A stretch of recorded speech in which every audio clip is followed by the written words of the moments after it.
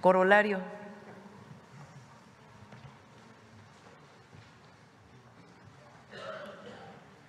Con su venia, Presidenta, muy buenos días, eh, integrantes del Presidio. Buenos días, compañeras, compañeros. Por instrucciones de la Presidenta de México, Claudia Sheinbaum Pardo, vamos a iniciar eh, cada martes una serie de presentaciones que nos expliquen el resultado de la profunda transformación de las conciencias que, como lo dijo el presidente López Obrador, en el año 2002, definió él como el humanismo mexicano, 2022.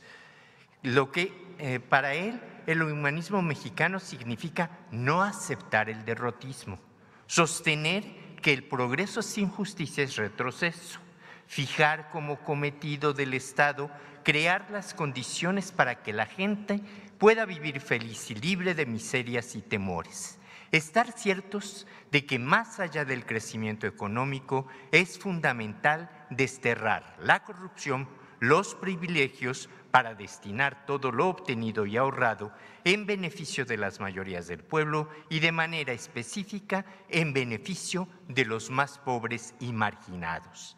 Saber que el poder solo es puro y virtuoso cuando se pone al servicio de los demás. Estas reflexiones del presidente López Obrador vienen de lejos, vienen desde su juventud, vienen desde su infancia, vienen de su curiosidad por conocer a nuestros pueblos originarios, por conocer las diferentes transformaciones del México independiente hasta nuestros días, y ello le llevó a reconocer que somos herederos de sólidas culturas comunitarias fincadas en principios, usos, costumbres que vienen de muy lejos y que son comunes a los muy diversos pueblos de nuestro territorio nacional.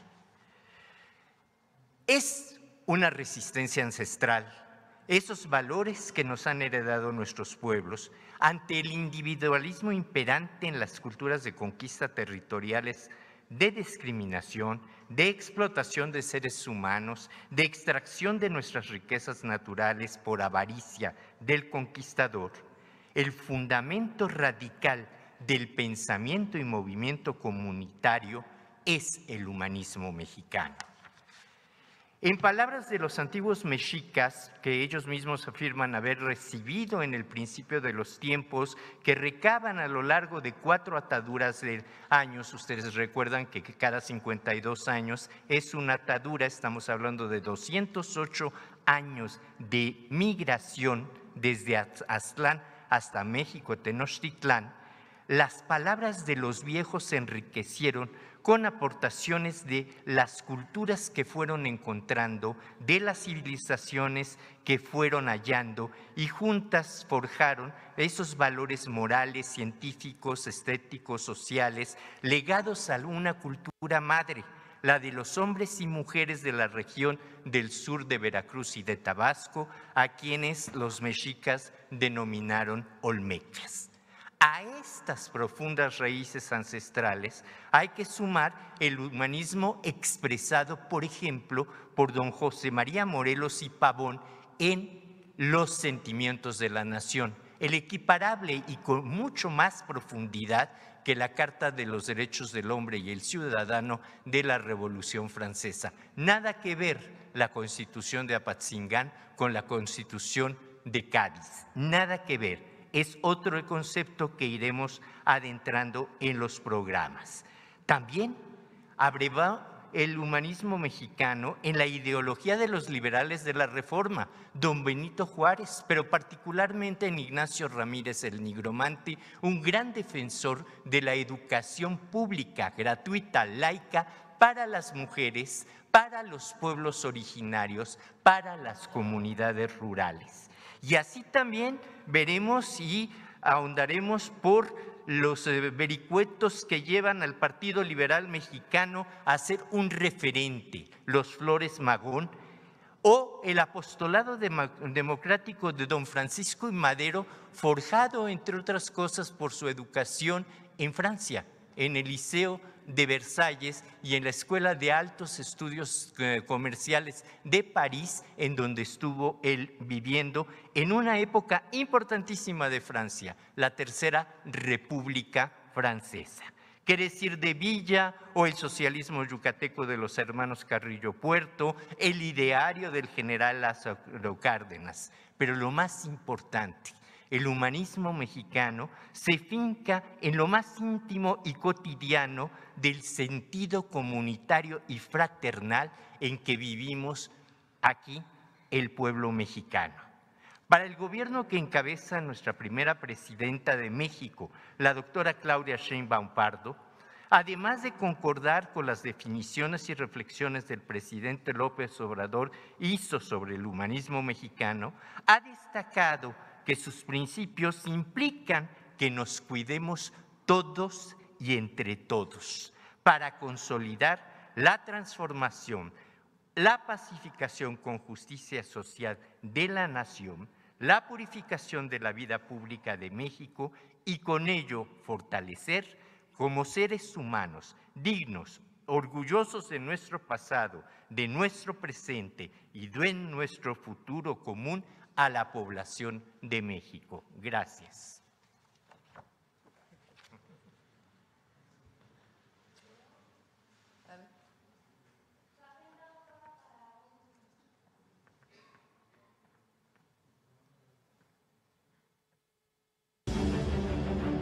El proyecto de transformación de México se nutre de la grandeza de las culturas milenarias indígenas y de la fecunda historia de nuestro pueblo en pos de la libertad.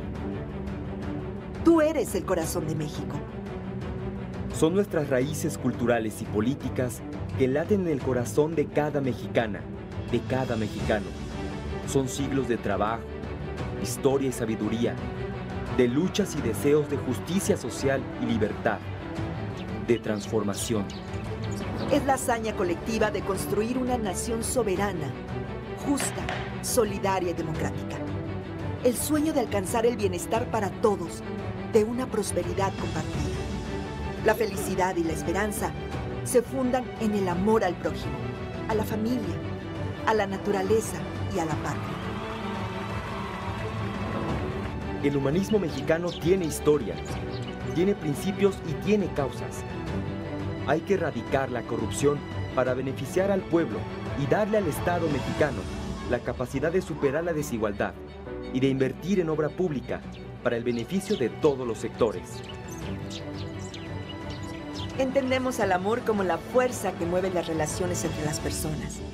La fraternidad, la compasión y la solidaridad permiten construir una sociedad generosa, justa, diversa e igualitaria, siempre desde la libertad, porque es la esencia de la democracia. Una sociedad que trabaje para disminuir las enormes desigualdades que todas y todos hemos padecido, creadas por siglos de injusticia, porque nos indigna la discriminación, el clasismo, el racismo y el machismo, la desigualdad y la pobreza. Porque estamos convencidos de que por el bien de todos, primero los pobres. No debemos olvidar de dónde venimos para no olvidar quiénes somos y proyectar el futuro mejor que anhelamos para nuestras hijas e hijos. Esto es el humanismo mexicano. Todas y todos lo vivimos y recreamos. Somos un pueblo trabajador y solidario, con la fuerza que nos da nuestra historia, la herencia gloriosa de nuestros antepasados que llevamos en el corazón y que nos da la fuerza y la convicción de construir un futuro mejor para todas y todos es el humanismo, lo que inspira al segundo piso de la cuarta transformación.